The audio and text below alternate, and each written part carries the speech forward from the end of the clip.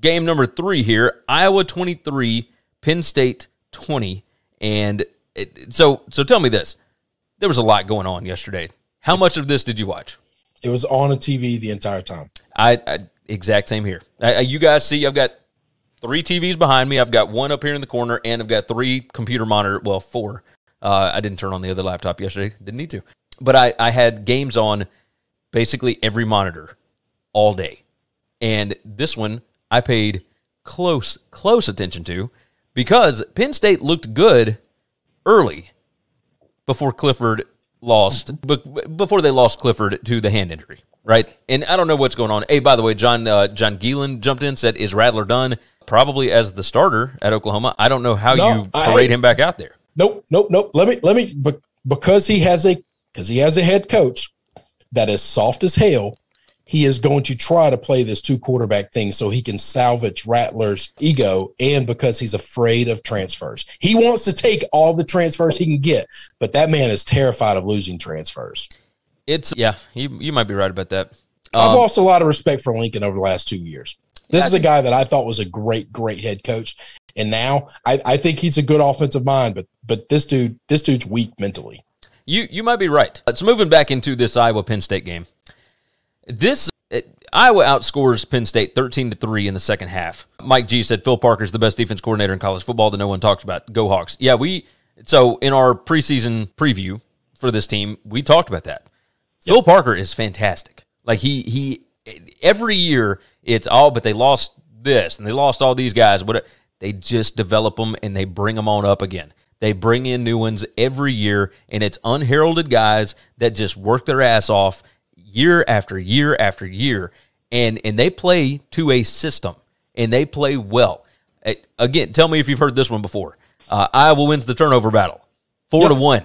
Like, I mean, eh, four interceptions for Penn State. At this, the Roberson kid, like I feel so terrible for him because he was not ready for this situation whatsoever. Oh, no. You can't like, to get thrown in in the middle of a game is a tough situation already. To get thrown in against probably the second, well, I don't say probably, it, I think it's definitive, the second best defense in all of football right now, like that, and it's not just a, a good defense. This is a hawking defense. This is a defense that absolutely gets after you and if you make the slightest mistake, the error of mar- margin of error is just zero against Ohio, uh, uh, Iowa, and and they're going to take the ball away.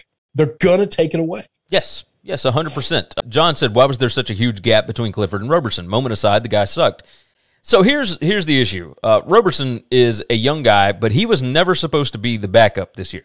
Uh, Will Levis was supposed to be the backup, and Levis transferred to Kentucky, and Kentucky. you can't blame him because like Kentucky's six and zero, oh, like they're doing oh, well. Oh, right, yeah, right now that looks like a hell of a transfer. Yes, Roberson seven out of 21, 34 yards, two interceptions. Like did not play well. He had ten rushes for twenty seven yards, but their offense was non-existent with him in the ball game. It was just there was nothing there, and the issue is you you never play a game expecting to have to play basically your third string guy, especially on the road in that environment.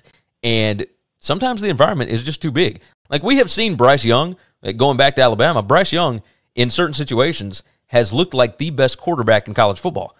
You put him on the road with a loud, hostile environment like that against a really, really good defense that can confuse you, and nobody's going to look good in that situation. No, there's and not a quarterback on earth that can do the greatest weapons in the world yes. on his side. Yes, and and Penn State's got weapons. They got some. Uh, Dotson, yeah, but you know, but, but it's but it's not close. But it's not close. You're right. Uh, so this like to expect anything out of Roberson in that situation, I, I I don't fault the kid.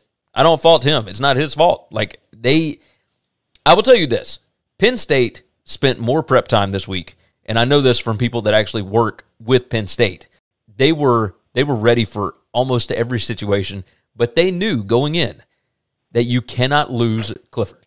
You could lose almost anybody else on that team, but you cannot lose that guy because you're not going to be able to build a big enough lead to to sustain something like that. Like it's it's just not. And Iowa field positioned them to death in that second half. Just played the. I mean, Kirk Ferentz. We already know he's a fantastic head football coach, but what he did in that second half was gorgeous. Absolutely gorgeous. The punts and and the way that he played the game was was perfect. Absolutely perfect. So I late in the game, you get that interception, like you get the interception late, late, late. I thought that they were going to try and tack on, you know, some more more points there.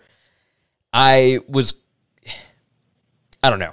It, it the, the whole the whole thing was the whole end of the game. I expected something different, I guess, but why would you do anything different than that? Like, just pin them deep, it, make them try and, and do something.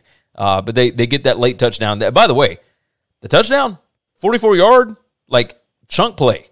Uh, Brian Ferentz as an offense coordinator is very surprising. Very surprising to me. Uh, John said Roberson's been there for three years. Uh, Akron versus uh, Bowling Green. Akron's third string guy scored 28 on Bowling Green. Yeah, that's that's Bowling Green. That's a, that's a different story there. Roberson, like he's just not as good a quarterback as, as Clifford or Levis. Like he's a third string guy at Penn State. I don't know what you want me to say. Like I don't I don't expect big things out of a third string guy going up against Iowa's defense. I think that's it. So, anything else you want to hit on on that one? No, it's fine. All right. Thanks for listening to the Winning Cures Everything podcast. The website is winningcureseverything.com. And if you want to connect with us, we're on Twitter at Gary WCE, at Chris B. Giannini, at Winning Cures, or you can email us, Gary at winningcureseverything.com or Chris at winningcureseverything.com. Subscribe everywhere you need to subscribe, and we'll see you soon.